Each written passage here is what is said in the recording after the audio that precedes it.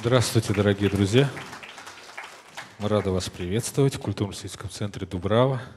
У вас еще есть одна минута для того, чтобы выключить свои гаджеты. Что-то вас много сегодня. Нет, это я просто хочу понять, в чем причина. Да, Битлз или... Битлз, да? Ну вот, Битлз. А интересно, а если будет не Битлз, если будет на Баха, да? То есть мы посмотрим, кто популярней, Бах или Битлз. А я думал, э, может, это причина в погоде. Как сегодня написала Ирина Акентьева, над Сергиевым Посадом целый день лондонский туман. Инна Акентьева молодец, она очень наблюдательный человек. Причину только она не знает, почему лондонский туман. Причина в том, что последние два или три дня Дубрава, ну, в первую очередь, в лице Олега Устинова, активно занимается темой Туманного Альбиона, пытаясь вникнуть, что же это за такое социальное явление Битлз. Я в меньшей степени этим занимался последние три дня. Я сегодня этим занимался с 12. Вот, ну, в общем, это очень хорошо, что вас так много. Я вас хочу расстроить тем, что сегодня будет очень длинный вечер. Так получилось. Приехал Ившин, опять все испортил. Я хотел так коротенько, минут на 40 сыграть концерт, а он э, что-то там опять. Но это ладно, это во втором отделении. Так что вы набираете терпения, смотрите, сколько у вас денег в кошельках, ну, чтобы их потратить в буфете, в антракте. Вот, заказывайте такси там за 9 часов. Потому что раз Битлз, раз так много, то надо все это правильным образом прочувствовать. Итак, собственно, я закончил. Все остальное скажу потом. Я приглашаю на сцену под ваши бурные аплодисменты Олега Александровича Устинова, который... Слушайте, он звезда. Может, все-таки дело не в Битлсе, а в Устинове? Или в его костюме, или в его галстуке. Но, тем не менее, мы начинаем нашу программу. Спасибо.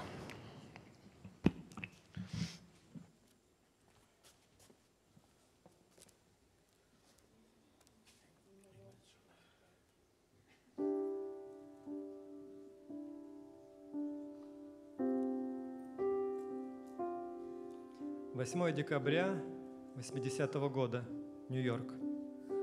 У Дакота Хаус, старинного, похожего на готический замок здания, на углу 72-й улицы и Центрального парка собралась по обыкновению внушительная толпа, ожидавшая выхода Джона Леннона, уже 8 лет жившего здесь, вместе с женой Йоко Оно и пятилетним сыном Шоном.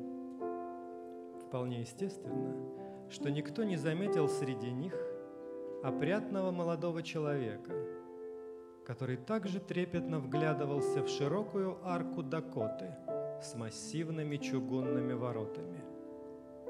Поклонники стояли уже несколько часов, но ничего не происходило. Только около пяти вечера во дворе дома показались две фигуры, и кто-то громко воскликнул «Идут! Идут!» «Джон, Джон, пожалуйста, автограф!» – восторженно подхватили другие. Леннон подписывал все протянутые к нему бумажки и фотографии. Общение с поклонниками он считал одной из самых приятных своих обязанностей. И обратил внимание на молодого парня, который нерешительно протягивал ему только что выпущенную пластинку «Двойная фантазия». Леннон с мягкой улыбкой принял пластинку из его рук, расписался, поставив число, и спросил, «Это все, что ты хотел?» «Да», — ответил счастливый фанат, «спасибо». Затем, тепло простившись со всеми, Джон и Йоко сели в машину и отправились в студию звукозаписи, чтобы работать над новой композицией. Это был самый обычный их день. И люди возле Дакота Хаус тоже медленно разошлись по своим делам. Ждать возвращения своего кумира остался только парень с пластинкой в руках. Все последующие события будут установлены полицией с точностью до минуты половине одиннадцатого Джон Леннон и Йоко Оно приехали из студии домой, отменив посещение ресторана, чтобы успеть пожелать Шону спокойной ночи. Они могли заехать в лимузине прямо в охраняемый двор Дакоты, но решили прогуляться и подышать свежим воздухом.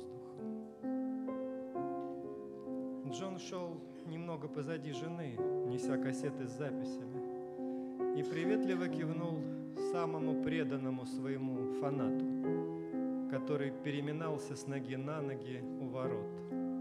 И вдруг крикнул «Мистер Леннон!» Джон обернулся. В этот момент над головой у него просвистела пуля и раздался звон битого стекла. Через секунду Джон получил две пули в плечо и две в спину, но, устояв на ногах, добрался до проходной. Не успевшая понять, что случилось, но увидевшая мужа окровавленным, Йоко Оно закричала от ужаса. Прибывшие на экстренный вызов полицейские, не дожидаясь скорой, положили Джона на заднее сиденье машины и помчались в ближайший госпиталь. Но врачи ничем помочь не смогли. Леннон скончался от потери крови в 23 часа 7 минут. Его жена, находившаяся в полуобморочном состоянии, попросила еще какое-то время не сообщать ничего средствам массовой информации, чтобы маленький Шон, смотревший детскую передачу, не узнал о гибели отца по телевизору. Но скрыть трагедию в Дакоте было невозможно. Мировой радиоэфир на секунду замер и взорвался сенсационной новостью. Убит Джон Леннон, всемирно известный британский рок-музыкант, основатель и участник ансамбля «Битлз», апостол любви. Спустя неделю после убийства в Центральном парке Нью-Йорка в минуте молчания приняли участие более ста тысяч человек. Это горе разделяли с ними миллионы людей в Лондоне, Вене, Токио, где состоялись митинги под лозунгом «Дайте миру шанс». Дайте миру шанс покончить с безумством гонки вооружения в память о Джонни Ленноне. Трагедия в Дакоте широко обсуждалась. Выдвигались разные версии, в том числе спецоперация ФБР. Помимо музыки, певец был известен своими политическими взглядами, неоднократно устраивал акции протеста против войны во Вьетнаме, защищал права бедняков и индейцев, выступал на демонстрациях. Представь, не будет власти, идея из идей, ни жадных, ни голодных – лишь братство всех людей. Представь себе, все люди на всей земле равны. Ты скажешь, я мечтатель? Не я один такой. Надеюсь, день наступит, ты с нами встанешь в строй. Правительство долго отказывалось выдать ему американский паспорт. Но это только лишний раз доказывало, что идеи Леннона необычайно притягательны. И не будучи политическим деятелем, он обладает таким влиянием на общество, с которым приходится считаться даже Белому дому. Стрелявший в Леннона Марк Чепмен, безработный из Гонолулу, был задержан на месте преступления. На суде он заявил, что на убийство его толкнули голоса сверху из чего был сделан вывод о его психической невменяемости. Но вопросы о том, как ему удалось раздобыть экспансивные пули, которые при попадании в тело увеличиваются в диаметре и наносят смертельные раны, остались без ответа. Журналисты спрашивали Йоко Оно, как она рассказала о трагедии Шону. Мальчик выслушал маму и, заплакав, сказал, Значит, теперь Дэдди, папочка, часть Бога. Я догадываюсь, что когда умираешь, становишься больше, потому что ты часть всего. И в этих словах Шона эхом звучало то, что говорил ему о самом главном Отец.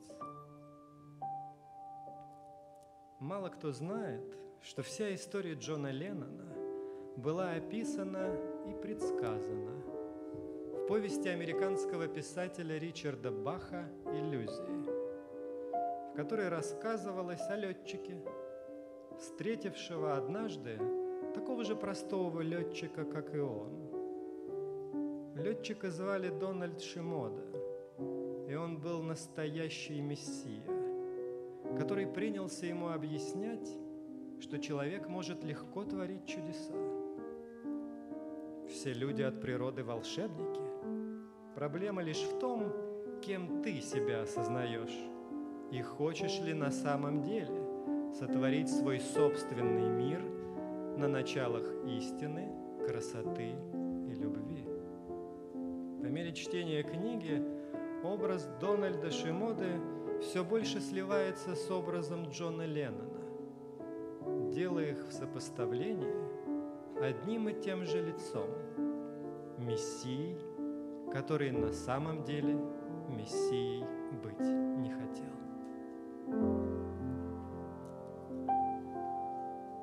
6 июля 1957 года. Ливерпуль. Первое отделение благотворительного концерта школьного ансамбля «Коуримен» в саду церкви Святого Петра подошло к концу. «Ты должен обязательно с ним познакомиться», — сказал Джону один из его приятелей, уверенный в том, что нашел отличного гитариста для группы. Пол здорово играет, хотя он левша — подсмотрел где-то, как переставить струны и выучился. Ноты подбирает на слух. Лидер Коримен, сдвинув брови, воззрился на немного смутившегося парня, который был на пару лет его младше, но действительно подходил по всем статьям. Джон и Пол подружились и почти сразу начали сочинять песни, подписываясь общим именем Леннон Маккартни. Правда, теперь Пол куда чаще стал пропускать занятия в школе, чему его отец не обрадовался. Пол прилежно учился и вообще был спокойным и тихим мальчиком, чего нельзя было сказать о Джоне.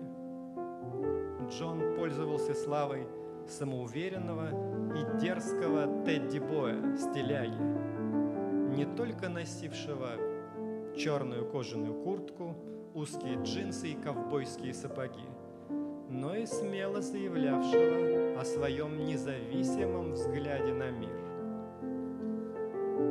Когда учительница спросила его, кем он хочет стать, когда вырастет, Джон ответил, «Я хочу быть счастливым». «Ты не понял задание», — объяснила учительница. «А вы не поняли жизнь», — хмыкнул Джон. Портовый город Ливерпуль был в те годы почти что музыкальная Эльдорадо. Моряки привозили из Америки пластинки с заводными песенками в стиле рок-н-ролл. Ничего удивительного, что Джон, как и многие подростки, организовал свой школьный ансамбль. Удивляться надо было другому. Его Коримен выбился в число лучших. А с приходом Маккартни энергия у ребят и вовсе стала перехлестывать через край. Внимать сомнениям отца по поводу Джона Пол не собирался, рассмотрев в нем умного и доброго парня, который на самом деле всеми своими хулиганскими выходками сознательно разбивал царившие вокруг подлость, глупость и лицемерие. Джон обожал интеллектуальные парадоксы. Его любимой книгой была «Алиса в стране чудес». Разбирался в английской и немецкой поэзии. Хорошо рисовал. Но кроме этого, ребята сблизило раннее знакомство со смертью. Отец Джона пропал без вести на войне. Мама, не в силах одна растить сына, отдала его сестре на воспитание, а потом погибла под колесами автомобиля. Ее сбил пьяный полицейский. Мама Пола умерла от рака, и папа принял на себя все домашние обязанности. В рабочих кварталах, где у жителей были порой очень тяжелые судьбы, а драки и поножовщина считались обычным делом, музыка была не праздным занятием. Она была стремлением к свету, к другой, чистой, радостной жизни. Джон почувствовал это и увлек за собой в таинственное волшебное путешествие сначала всю школу, а потом и весь Ливерпуль. Пол привел третьего гитариста, Джорджа Харрисона, а Джордж привел барабанщика Ринга Стара. Великолепная четверка быстро оформилась как новая группа, которой было необходимо необычное и легко запоминающееся название. Перебрав среди вариантов Джонни и лунные псы, серебряные жуки, радуги, пиратские флаги, выбрали серебряные жуки. Но еще немного подумав, отбросили серебряные, слишком романтично, и решили остаться просто жуками. Битлз. Выступали много, правда, за самую скудную плату. На танцевальных вечерах, в пабах, в маленьких клубах, а порой и в весьма сомнительных заведениях. Выезжали даже на заграничные гастроли в Гамбург. Но отъявленными рокерами, которые без церемоний разговаривают со зрителями, жуют жвачку и курят на сцене, пробыли недолго. На их концерты стала приходить молодежь из художественных училищ, которая заметила в Битлз что-то необычное. И кто-то из поклонников зашел в магазин Брайана Эпстайна, спросив, спросив пластинку новой группы. Эпстайн, гордившийся тем, что в его магазине есть все, смущенно выговорил, «К сожалению, такой пластинки нет» и немедленно отправился посмотреть, что же представляют собой ставшие прицей во языцах жуки. Именно он, Брайан Эпстайн, один из самых утонченных, образованных и элегантных молодых людей Ливерпуля, стал менеджером группы и придумал ей безупречный сценический имидж, стилизованные строгие костюмы под джентльменов научил правильно подавать свою музыку, работать с журналистами и строго соблюдать профессиональную дисциплину. Каждое утро он говорил с порога, «Эй, ребята, надо делать пластинку! Ребята, надо ехать в турне! Ребята, пора снимать фильм!» Трансляцию выступления «Битлз» в лондонском театре «Палладиум» наблюдало 15 миллионов телезрителей а после концерта к машине музыканты с трудом добрались под охраной. Через год последовал грандиозный успех во время турне по США. Битломания шагнула через океан. Везде наблюдалась одна и та же картина. За несколько часов до концерта расставляются усиленные наряды полиция. Водометы стоят наготове. Девушки неистовствуют, плачут, теряют сознание, вопят, кидают на сцену бумажные шарики со своими адресами, туфли, кукол, плюшевых мишек. Им удается перекричать даже гудение усилительной установки мощностью 800 ватт. В апреле 64-го в течение недели Битлз занимает 12 мест в официальном хит-параде США, в том числе все первые пять строк. Рекорд, который не побит и сегодня. В 1965 году королева Елизавета II награждает ливерпульскую четверку орденом Британской империи за популяризацию английской культуры. Из писем поклонников. Дорогой Джордж, я приду смотреть на вас на стадион Форест Хилл. Ты меня узнаешь. Я надену желтое платье и встану в первом ряду. В руках буду держать надпись «Я та самая». Дорогие Битлз, мне 16 лет, и я не могу найти себе девушку.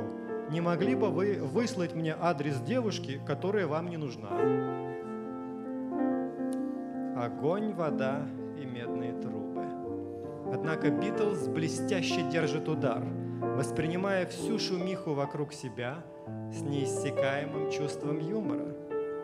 Интервью в аэропорту. Не споете ли вы нам что-нибудь? Сначала деньги на бочку.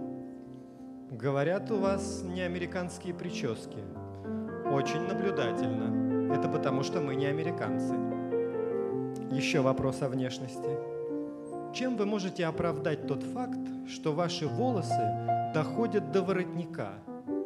Вероятно, тем, что они растут у нас из головы.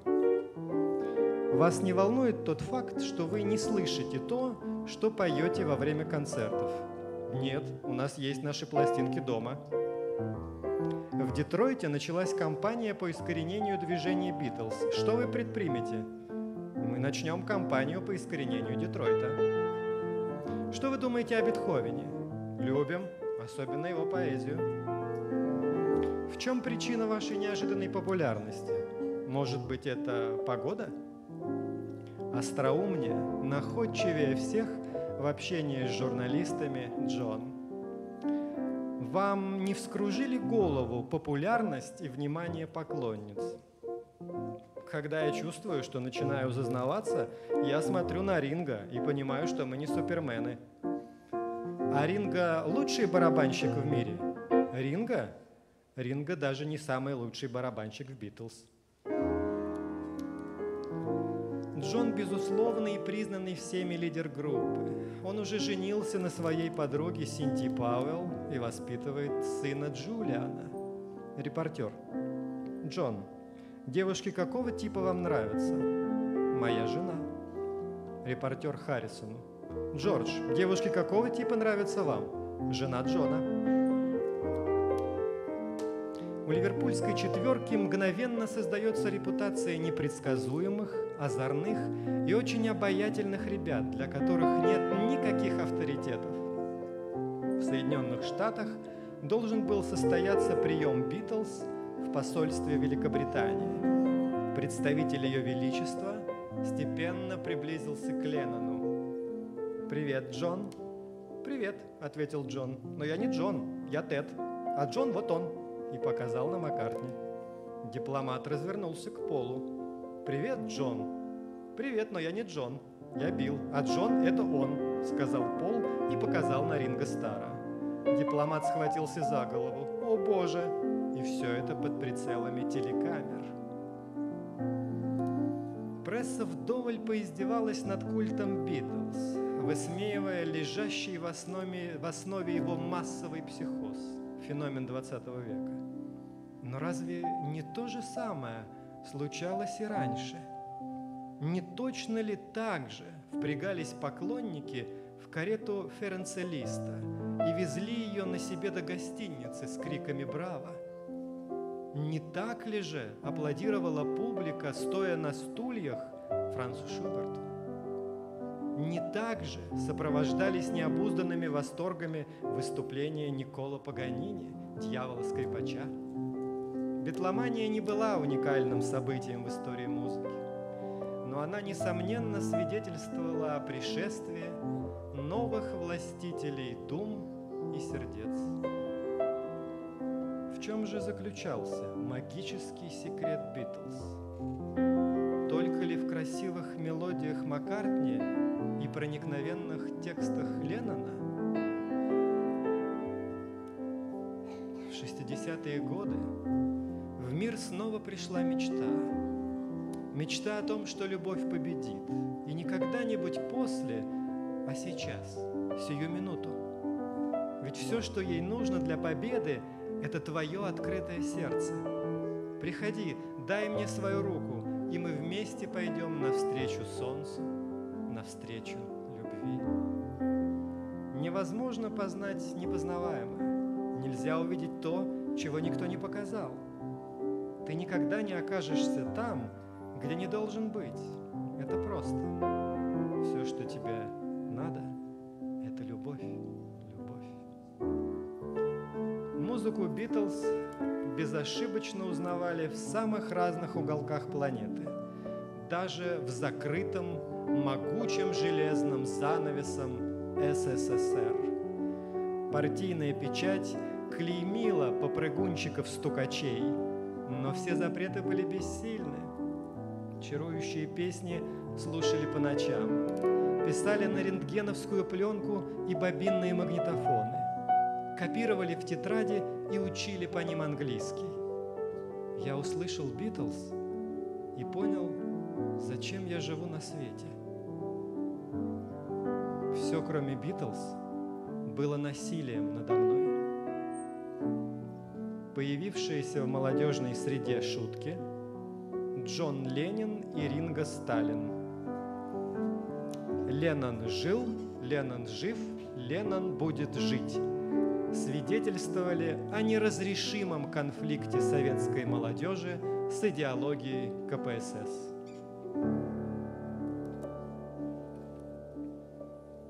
Находясь на вершине успеха, Битлз продолжали неустанно трудиться над собой. Их песни становились сложнее, а тексты серьезнее. Появились социальные темы о войне во Вьетнаме, о расовой дискриминации, о проблеме наркотиков. Джон настаивал, рок-музыка – это разговор не только о любви мальчика к девочке, это отклик на проблемы, которые мучают общество. Настоящий певец не имеет права молчать, если видит несправедливость. Его долг – заступиться за всех оскорбленных и униженных. Ребята реагировали на слова Джона с интересом, но целиком его мысли не разделяли. Пол, например, относился к политике в творчестве прохладно. Я люблю Джона и уважаю то, что он делает, хотя особого удовольствия не получаю. Но уже все Битлз видели, что Леннон, вечный бунтарь и романтик, незаметно превратился в настоящего философа, духовного лидера 60-х, идеи которого находят множество сторонников и прежде всего среди участников нового движения хиппи. Джон нашел себя и больше от себя не отступится. Мир – это не то, что вы желаете. Это то, что вы делаете то, чем вы являетесь, и то, что вы отдаете. Объявите мир точно так же, как мы объявляем войну. Только так у нас будет мир. Материализм сильно переоценен. Богатство на 9 десятых нечестны, а это 9 десятых проблем. Выступая в театре принца Уэльского в присутствии королевы, Джон дерзко съязвил – те, кто сидят на дешевых местах, пусть хлопают в ладоши. Остальные могут потрясти драгоценностями. Я не собираюсь менять способ видения или мироощущения, чтобы соответствовать чему-либо. Я всегда был странным. Всегда. И живу с этим. Неважно, какой длины мои волосы или какого цвета моя кожа. Мужчина я или женщина, это все не имеет значения. Вам не нужен человек, который скажет, кто вы такой. Просто будьте тем, кто вы есть. Действительность живет благодаря воображению. Я верю в фей, в мифы, в драконов. Все это существует, даже если находится лишь в вашем уме. Джон говорил так, как говорил и описанный Ричардом Бахом в иллюзиях мессия Дональд Шимода который учил, что мир состоит из пустых иллюзий. которые ничего не выражают и ничего не представляют до тех пор, пока люди не наполняют их смыслом. Нельзя ходить по воде? А кто сказал, что нельзя? Попробуй, говорит Дональд ученику. И тот действительно идет по воде, как Христос. Какая по консистенции вода, жидкая или твердая, зависит от того, какой ты видишь ее, творишь, конструируешь в своем воображении. Ты волшебник, твердит Мессия. Волшебник, запомни. Хоп, и ты стал невидимым. Хоп, и прошел сквозь дверь. Утверждая, что ты чего-то не можешь, ты лишаешь себя всемогущества.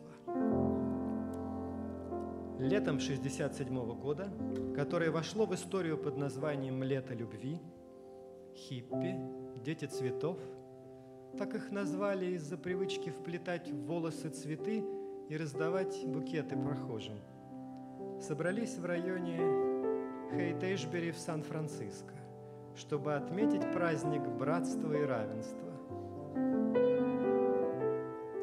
Хиппи боготворили Джона – и ловили каждое его слово. Но становиться Христом с гитарой он совсем не хотел.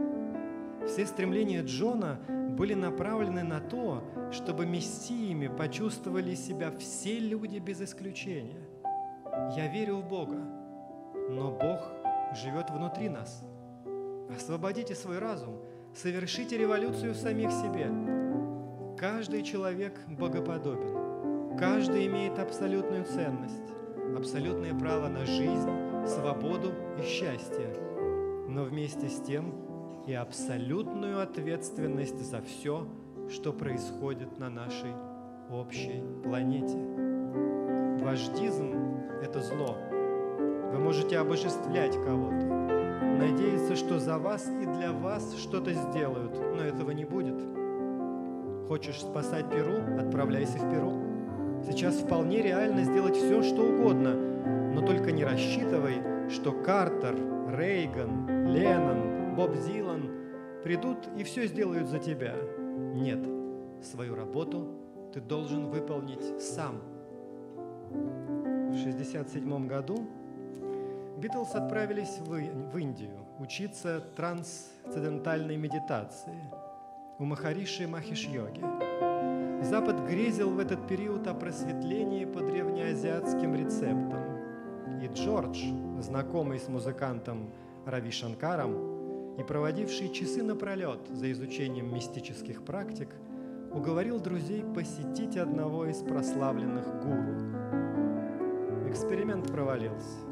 Джон быстро разоблачил очередного пророка, который поощрял, чтобы к нему обращались ваши святейшества, но который, как выяснилось, был подвержен самым обычным грехам. Джона бесконечно раздражало, когда поклонение Битлз приобретало откровенно неадекватные формы. Перед концертом выстраивались процессии из инвалидов, лелеявших надежду исцелиться от прикосновения звезд. Чертовы дикарские обычаи минуту горького разочарования, почему же христиане молятся не Богу, а ложным святым, сказал, кажется, Битлз популярнее Иисуса Христа. Поднялась буря. Пять радиостанций на юге Америки исключили песни группы из ротации. Пластинки и фотографии Битлз массово сжигались на кострах. Протесты прокатились по Мексике, Южной Африке, Испании. Леннону пришлось извиняться, доказывая, что он высказался не против христианства, а за. Джон был глубоко верующим человеком, если под словом «вера» понимать высшую духовность. Он видел полноту Божьего откровения не в какой-то одной из религий, и тем более не во вражде между ними, а в объединении всего лучшего, что есть в сакральных традициях разных народов и полагался на свой собственный духовный поиск гораздо больше, чем на богословские книги. Иисус, Мохаммед, Будда и все остальные говорили правду, просто перевод до нас дошел не совсем верный. В любом случае, не волнуйтесь, Бог заботится о нас. Постепенно в Битлз назрел кризис. Отношения внутри группы никогда не были безоблачными. Конечно, ссоры случались, но это были ссоры между братьями. Леннон и Маккартни являлись яркими индивидуальностями. Харрисон тоже хотел проявить себя в творчестве. И только спокойный и не претендующий на особую роль Ринго Стар умудрялся всех помирить. К концу 60-х искрить стало слишком часто. Джон и Пол окончательно разошлись в понимании того, куда следует двигаться группе. Пола устраивало быть создателем красивых безыдейных песен, приносивших огромную прибыль. Его сравнивали с Моцартом. Для Джона подобные пустота и тщеславие были неприемлемы. Ты что, действительно вообразил, что все современное искусство в долгу перед Битлз? Ты что, настолько безумен, Пол? Ты в это веришь? Как только ты перестанешь в это верить, ты проснешься. Мы же говорили, что мы часть движущей силы, но не она сама.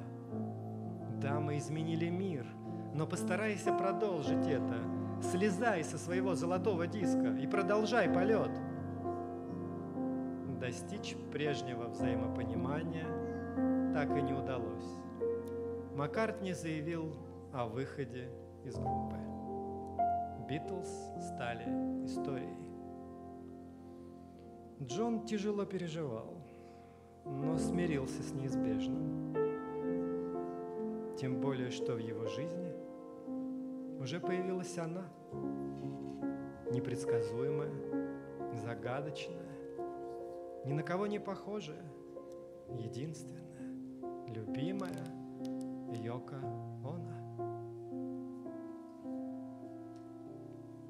Называли Ромео и Джульетта 70-х.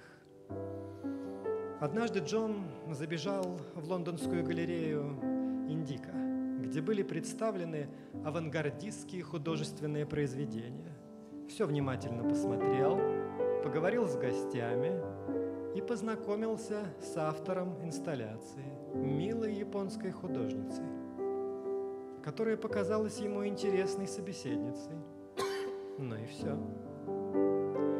Намерений продолжать общение у него не было.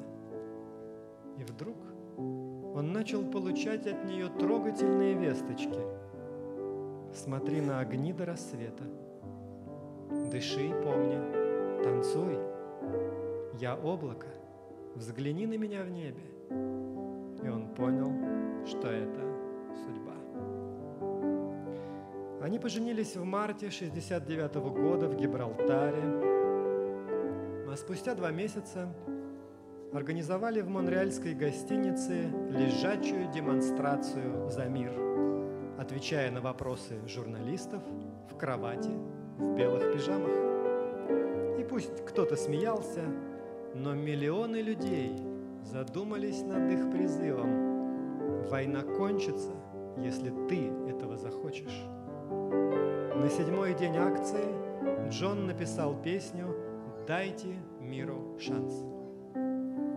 Дальше были совместные выступления, антивоенные концерты, борьба за гражданские права, кампания в защиту феминистки Анжелы Дэвис, борьба за смягчение режима в тюрьмах, помощь бедным. В Йоко Оно Джон нашел не только долгожданную вторую половинку, но и соратницу, разделявшую все его взгляды. Он стал спокойнее, мудрее и засиял тихим светом. Личное счастье оказалось важнее сценического успеха. Она учитель, а я ученик. Она, ну, она научила меня всему, что я знаю. С йока я стал свободным. Для каждого мужчины – движущая сила – это женщина. Без женщины даже Наполеон был бы простым идиотом. Ее чувства к нему были также искренни и безусловны. Наконец-то я встретила того, кого полюбила по-настоящему. Он мой зеркальный образ в теле мужчины. С 1971 года Джон и Йока поселились в Америке. Администрация Никсона рассматривала Леннона как внутреннего врага. Приближались очередные выборы, и антивоенные песни могли обойтись правящей группировке в несколько сот тысяч потерянных голосов. Против певца было затеяно дело о депортации. Ему подбросили наркотики, угрожали уголовным процессом. Джон был неуязвим. С его влиянием на общественное мнение уже ничего нельзя было сделать. Когда Англия приняла участие в Африканской войне, Джон отослал свой орден обратно в Королевский дом в знак протеста.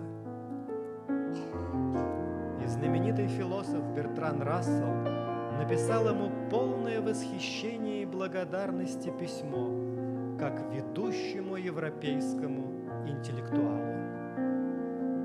Но при всем при этом Леннон оставался обычным человеком, которого прежде всего отличали отзывчивость, искренность и доброта. В прессе периодически мелькали слухи о том, что Битлз воссоединятся. Несмотря на все сложности, каждый в отдельности продолжал общаться с Ринго Старом. И если Ринго что-то придумывал, каждый ему помогал. Но общей дороги для них уже не было. Джон и Йоко писали песни вместе.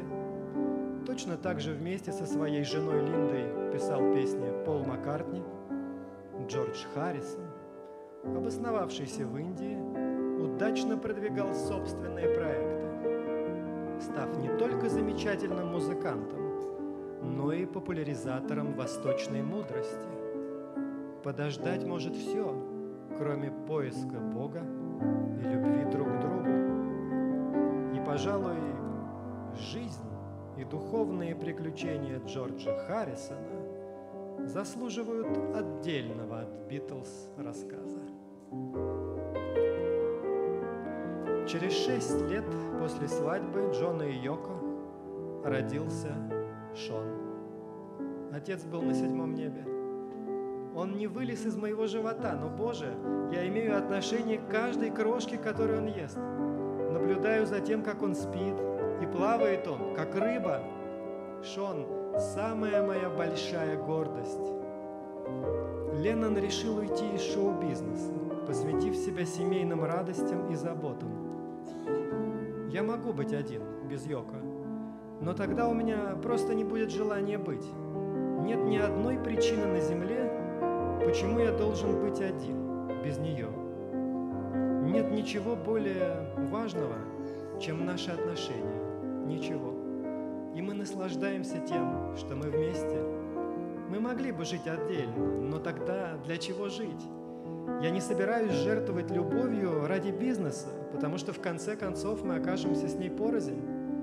Я уже прошел через все это. И скажу вам, что нет ничего лучше, чем любить кого-то одного, кто любит вас. В одном интервью его спросили, представляете ли вы картину, когда мне 64? Джон улыбнулся. Нет, нет. И добавил, но я надеюсь, что мы будем с Йоко прекрасной старой парой, живущей где-нибудь на берегу Ирландии.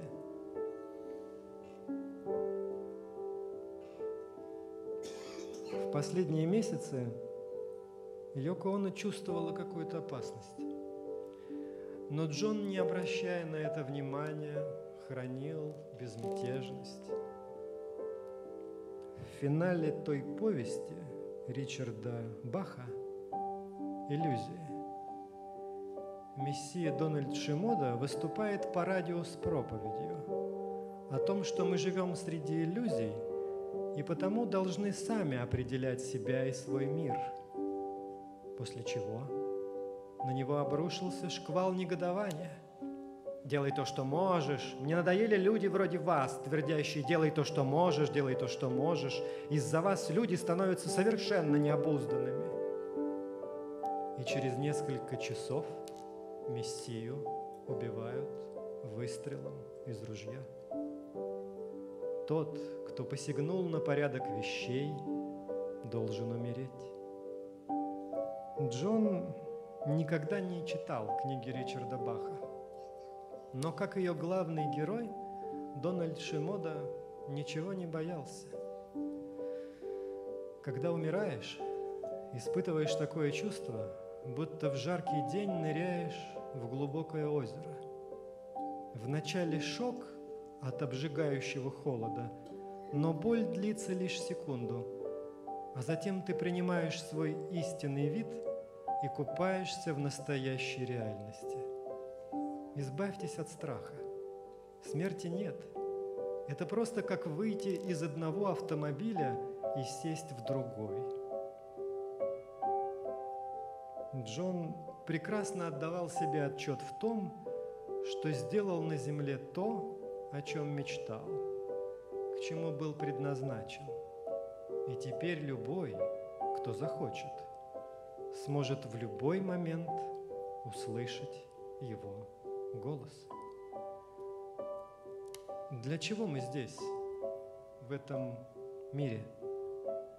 Любовь – это все, что нам нужно, но она требует усилий. Мы должны заботиться о своем чувстве, лелеять его. Другой любви не бывает. И во всех случаях